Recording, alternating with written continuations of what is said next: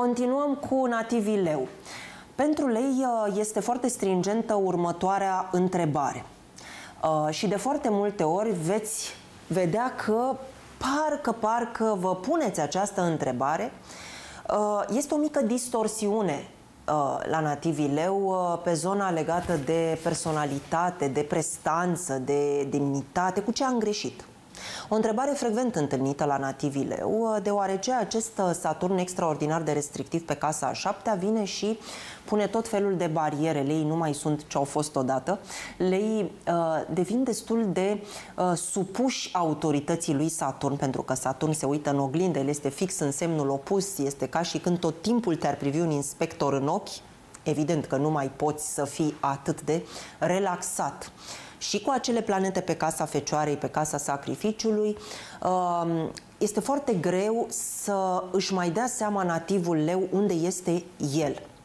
Uh, nu cine este el, unde este el în acest context.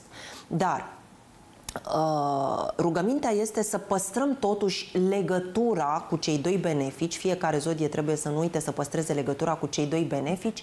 Cei doi benefici se găsesc în continuare pe o casă foarte mistică, misterioasă pentru leu, spuneam, pe casa scorpionului. Ca atare, leii pot primi informații din astral direct, evident, din astralul superior. Uh, trebuie să continuați cu tot ceea ce vă face, va, tot ceea ce aduce un potențial benefic în viața dumneavoastră, trebuie să încercați să vă conectați la dimensiunile care vă furnizează informații puțin mai complexe, pentru că acum uh, lucrurile sunt mai dichisite, să spunem așa.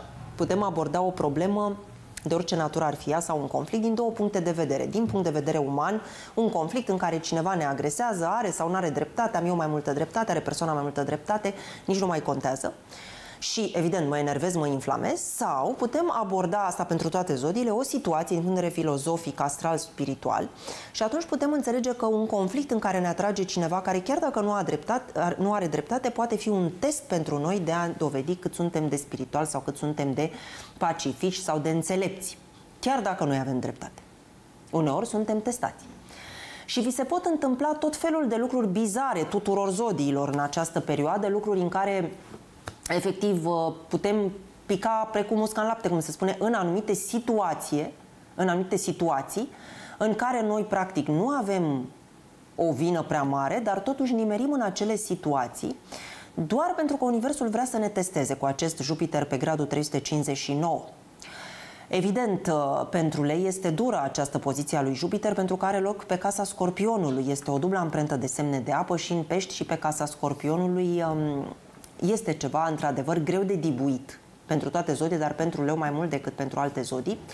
S-ar putea descifrarea să vină în vise sau să vină pe linie uh, spirituală, ezoterică, de aceea este bine să țineți totuși legătura. Atunci când vă enervează ceva în exces și nu știți să rezolvați lucrurile, închideți ochii și gândiți-vă puțin, stați puțin în liniștea minții, cum se spune, și închideți ochii și faceți acest exercițiu de liniștire totală în care vorbiți cu sufletul, vorbiți cu sinele superior, vorbiți cu astralul superior și veți vedea că veți primi niște mesaje, mai ales dacă se face liniște total în jurul dumneavoastră. Nu aveți prima reacție ca o ripostă, ca o enervare, ca o împătimire, pentru că nu va fi câștigător nimic de genul acesta.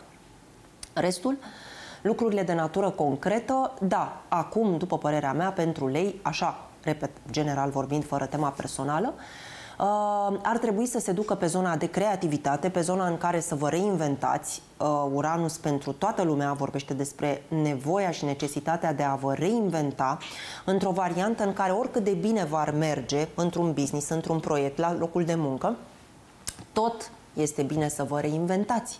Pentru că Uranus, care este vizionarul, este într-o zodie mercantilă, materialistă, deci dacă vreți să câștigați mai mult, trebuie să vă reinventați, trebuie să fiți puțin mai inventivi.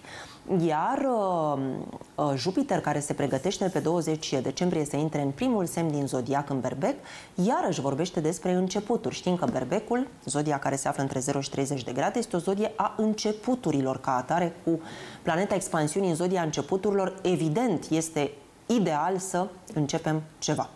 De pe 20 decembrie până pe 17 mai, cât uh, valează Jupiter berbecul, este bine să începem niște lucruri. Evident, în domenii în care, care ne reprezintă, nu în orice domeniu, sigur că da. Mergem mai departe pentru nativii uh, fecioară, Uranus puternic este într-un semn prieten, tot în semn de pământ. Fecioarele pot uh, câștiga mult mai bine, pot produce mai mulți bani, uh, se pot orienta către persoane care au uh, potențial financiar, uh, pot colabora cu tot felul de personalități în acest uh, domeniu. Uh, mai mult decât atât, fecioarele au un fel de, dispu- un fel de dispută da? cu persoane din cadrul familiei care joacă un rol important în viața lor și care în egală măsură au ceva autoritate asupra nativilor fecioară. Vin pe undeva să vă condiționeze, vin pe undeva să vă scoată în evidență anumite lucruri. Și mai mult decât atât, um, vă pot arăta niște situații, uh, poate puțin mai dur, dar autentic. Adică este bine să ascultați. Dacă apare o persoană în viața dumneavoastră, o persoană din cadrul familiei, o rudă sau chiar dacă este mai îndepărtată și vă prezintă într-un fel o situație, este bine să o ascultați pentru că s-ar putea să vă prezinte și un adevăr sau s-ar putea să vă îndrepte, să vă îndrume. Fecioarele trebuie să-și uh, regândească puțin uh, modul de viață. Uh, modul de viață pentru că în oglindă, așa cum la leu era Saturn din vărsător, uh, la fecioare este conjuncția celor doi benefici în semnul peștilor. Deci, în oglindă este însuși sufletul lor. În oglindă este ceea ce își doresc ei cu adevărat în suflet. Nu trebuie să vă fie frică să recunoașteți ce vă doriți cu adevărat, indiferent care sunt consecințele. Consecințele a ceea ce vă doriți cu adevărat s-ar putea cu Jupiter și Neptun pe casa a șaptea să fie o schimbare radicală s-ar putea să însemne o ruptură de anumite persoane, s-ar putea să însemne să stați singur o perioadă, s-ar putea să însemne să stați într-un alt context, într-un alt anturaj, într-o altă casă, într-un alt loc de muncă și așa mai departe. Deci oricât de dur ar fi ceea ce doriți să, vă schimb, să schimbați, uh, puteți să aveți curajul să o faceți pentru că scopul în această perioadă cu Jupiter și Neptun pe semn opus este să vă regăsiți liniștea sufletească și să fiți din nou fericiți. Uh, dacă este totul echilibrat, atunci, sigur că da, înseamnă că misiunea se duce spre alte persoane, să-i faceți pe cei dragi să fie fericiți sau să-i ajutați pe cei dragi să se uh, regăsească. Marte vine și el cu niște sugestii, sigur, um, este important uh, să avem un Marte destul de bine aspectat de Saturn, sunt două planete mari, uh, Saturn vine și el cu un potențial energetic semnificativ, Marte este și el adrenalina, acțiunea și reacțiunea. Uh, ele, pentru nativii fecioară, acum uh, vorbesc despre poziția unor semne de aer. Pentru toată lumea acum este importantă comunicarea, dar nu comunicare exagerată. Este o comunicare cu porția, cum se spune. Saturn învărsător vorbește despre comunicare doar cât trebuie. Nu vorbim mai mult decât trebuie. Vorbim atât cât trebuie, cu cine trebuie și când trebuie. Și atunci, două vorbe în această perioadă, două cuvinte, pot face mai mult decât o sută de cuvinte în sensul în care fecioarele ca zodie mercuriană, sigur că da, la fel și gemenii, trebuie să învețe cum să porționeze aceste vorbe, pentru că economisiți și multă energie. Fiecare zodie în momentul de față pierde energie acolo unde este slăbiciunea. Leii pot pierde pe soare, fecioarele pe Mercur, balanțele pe Venus și așa mai departe. Scorpionii sau cei cu tipar de scorpion pe Pluto, adică prin instinctualitate, um, fiecare zodie acolo unde se știe cu sensibilitatea din astrograma personală identificată, după cum am spus, cu ziua, luna, anul și ora nașterii. Unde vă știți vulnerabil, acolo încercați să nu pierdeți atâta energie. Ce mai este foarte important pentru nativii fecioară? Să facă în fiecare zi un lucru care să le să-i ajute, dar nu neapărat lucruri cu care sunteți obișnuiți. Lucruri care să spargă pe undeva tiparele, pentru că acest Pluton pe casa a cincea vorbește despre o regândire a tabieturilor, despre o regândire a uh, stilului de a vă distra, de a stilului de a vă simți bine. Uh, parcă trebuie să moară un stil de a vă simți bine ca să renască alt stil de a vă simți bine, pentru că totuși Pluto este moartea și renașterea. El este în casa distracțiilor acum pentru nativii fecioară. Deci s-ar putea să nu vă mai simțiți bine uh, acolo unde vă simțeați bine până acum. Și atunci, uh, gândiți-vă ca la o prioritate la această modalitate de a schimba puțin modul în care vă simțiți bine. Pentru că o să observați că veți avea un alt tonus Pluto, să nu uităm totuși, este regenerarea în casa și în zodia în care se află, pentru fiecare dintre noi, arată cum ne regenerăm într-o anumită perioadă. Nu trebuie să ignorăm. Dacă, de exemplu, într-o anumită perioadă avem de tranzit Pluto, să spunem, pe casa imobilelor, înseamnă că ne regenerăm făcând, uh, nu știu, șantier acasă, schimbând case, schimbând mobile, schimbând uh, lucrurile între ele prin casă și așa mai departe, redecorând, primind musafiri. Dacă l-ai pe Pluto în casa serviciului, într-o anumită perioadă de tranzit, înseamnă că te regenerezi acționând la locul de muncă și așa mai departe. Bine, sigur că da, simplist uh, analizând.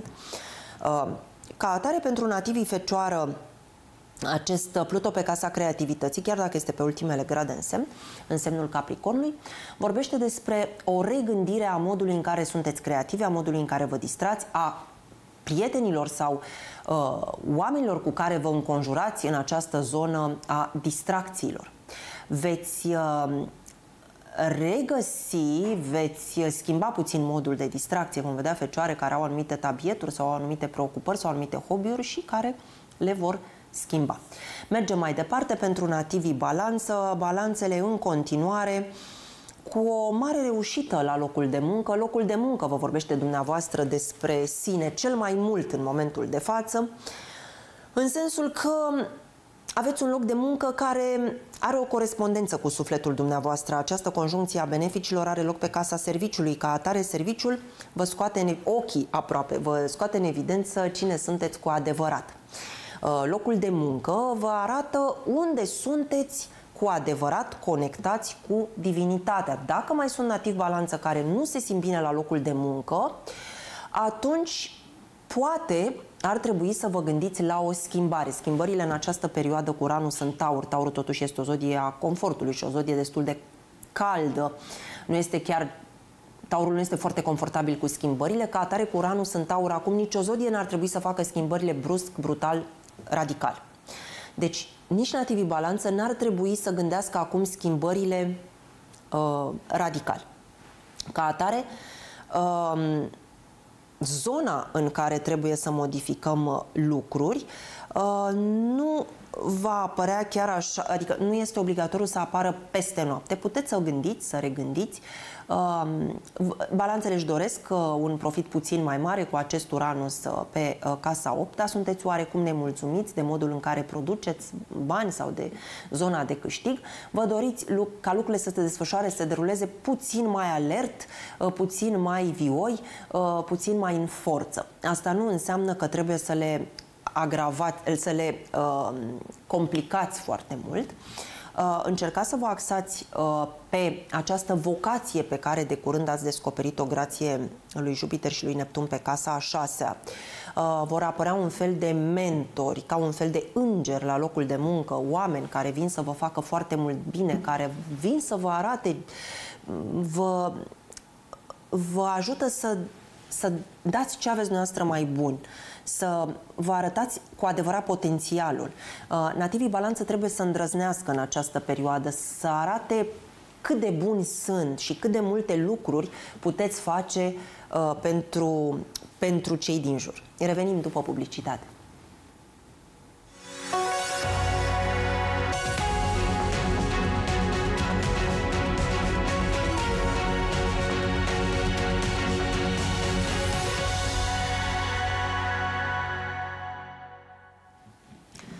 Am revenit. Uh, deci vorbeam despre aceste valențe cu care se intersectează nativii balanță în perioada următoare și cât de important este ca o concluzie să uh, îi dăm cezarului ce al cezarului, deci să vă, uh, să vă um, motiveze foarte mult uh, zona în care știți că puteți performa.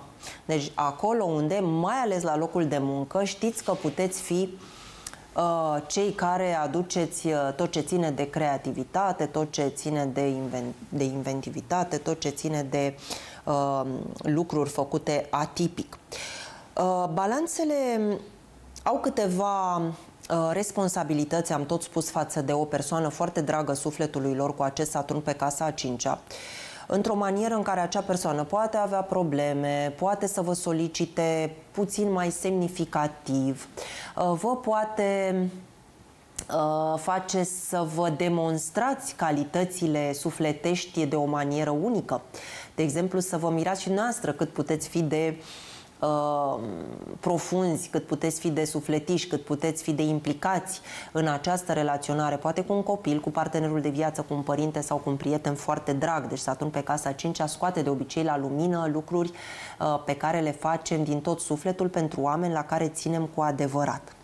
Uh, deci este o perioadă când, care vă solicită din acest uh, punct de vedere. Uh, fiți puțin atenți totuși și la vorbe, pentru că soarele pe casa a treia vine precum un mentor și spune fiți atenți ce vi se reproșează, ce sfaturi vi se dau, ce vi se spune, pentru că el din casa a treia, casa comunicării, repet, este precum un mentor.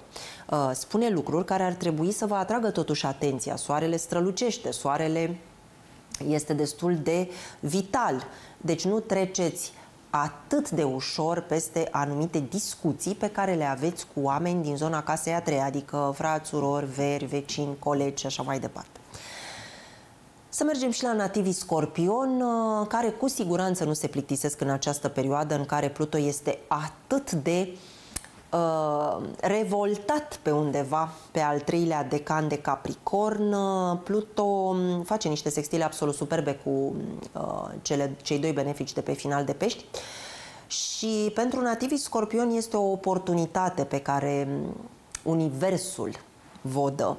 Aceea de a um, spune exact ce trebuie. Deci există două variante. Fie să fiți foarte benefici, constructivi și să intrați pe misiune spirituală, fie să vă enervați și să mai spuneți și lucruri mai puțin plăcute. Cred că majoritatea scorpionilor, pentru că scorpionul este o zodie care a înțeles din plin mesajele spirituale și putem să-i avem mentor pe scorpioni, um, scorpionul în această perioadă poate să spună lucruri care să cântărească foarte mult pentru cei din jur. Totuși, Pluto pe casa a treia, guvernatorul noastră, arată faptul că prin vorbe puteți să ajutați o persoană să renască. Puteți să ajutați o persoană să se facă bine. Puteți să ajutați o, o persoană să își vindece o rană sau să capete încredere în ea. Este o perioadă în care pentru nativii scorpion se nasc tot felul de oportunități în care puteți să-i ajutați pe cei din jur uh, să își înțeleagă destinul mai bine. Chiar dacă, sigur, dați un pic din energia noastră, se spune că în această perioadă cu tot ce este pe cer, este bine să nu hrănim diverse uh, găuri negre. Este bine să nu hrănim diverse zone care pe undeva vin și trag de la noi energie. Noi nu vedem lucrurile acestea, sigur că, dar noi nu vedem decât cum sunt oamenii îmbrăcați, cum arată, ce vorbesc, ce mănâncă, cu ce mașină merg și în ce case intră.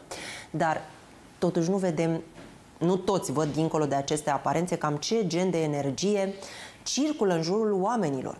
Sunt foarte mulți oameni care arată impecabil în punct de vedere fizic, estetic și totuși energia este destul de morbidă sau este stranie sau este foarte scăzută. Vitalitatea în jurul unui om. Și nativii scorpion devin foarte preocupați de a identifica acest tip de energie. Spuneam la începutul emisiunii despre șansa deosebită pe care ne dă astrologia sau sunt și alte metode de a ne identifica cu adevărat tipul de personalitate, ceea ce nu este un lucru banal deloc, pentru că sunt persoane care cred că sunt cineva și de fapt sunt altcineva.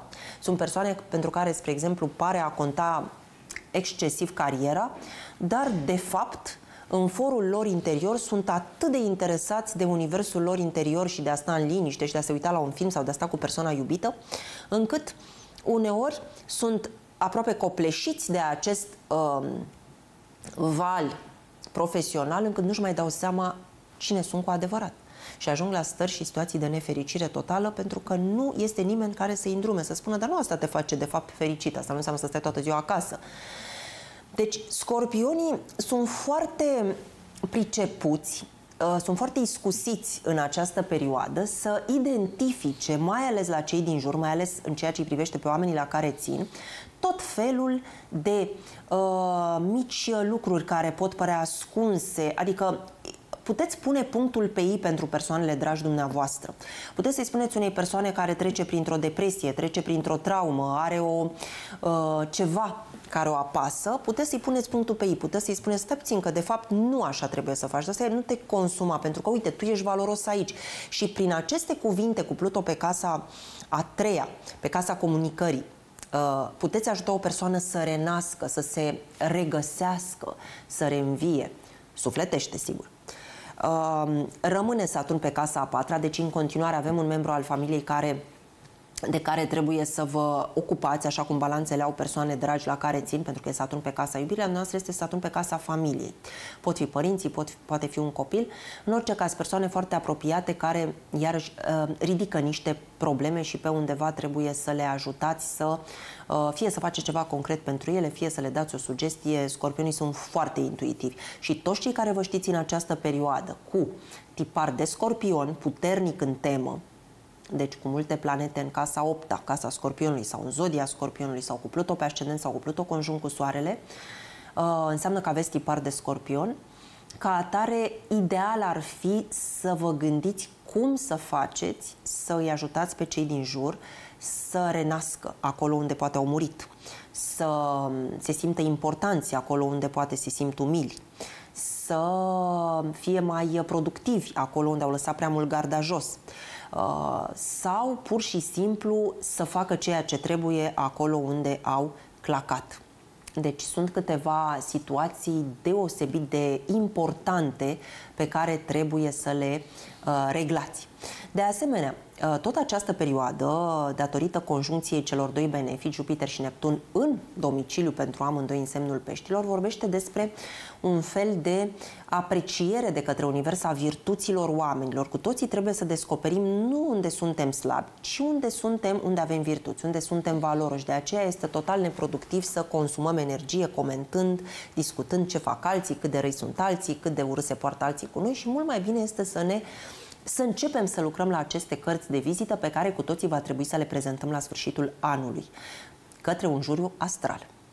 Și această carte de vizită trebuie să fie cât mai apropiată de. Este ca și când trebuie să vă imaginați un juriu astral care ne scanează la sfârșitul anului, ne scanează cu adevărat și ne pune un, nu un diagnostic, ne pune, pune un verdict, dă un verdict. Acest om este, ați văzut, sunt foarte multe filme în care anumite persoane au această capacitate de a vedea uh, ce uh, energie este în jurul unui om sau ce calități și ce defecte. Și pur și simplu așa îl cataloghează. Dacă este un om conflictual, este un scandalagiu, dacă este un om uh, mai puțin sincer, este un om neonest, dacă este un om care minte mult, este un mincinos și așa mai departe. Și sunt oameni care au aceste capacități și ei, în loc să vadă o etichetă, ei văd exact cine este omul respectiv.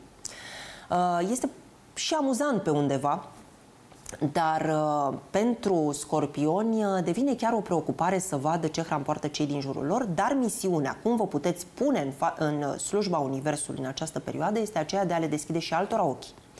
De a spune, uite, nu este bine că te consumi pentru că, nu știu, ești într-un anturaj prost, pentru că tu ești așa, ei sunt așa. Și ajutând oamenii, puteți să deveniți foarte utili Universului și să intrați pe misiunea dumneavoastră. Mergem mai departe pentru nativii săgetător.